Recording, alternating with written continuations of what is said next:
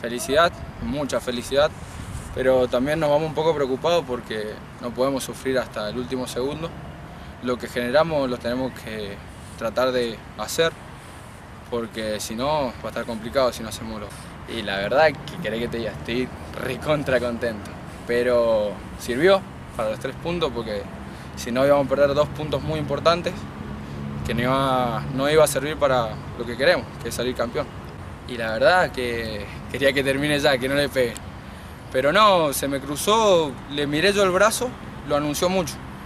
Entonces lo esperé hasta el último y, y me fue, gracias a Dios me tiré a la, a la derecha y bueno, lo atajé. Nos costó acomodarnos los primeros 10 minutos, después lo supimos jugar de contra, pero cuando nos expulsan a, a Brian ahí se nos complicó un poco, ellos se acomodaron un poco más dentro de la cancha y no, no la pudimos agarrar mucho.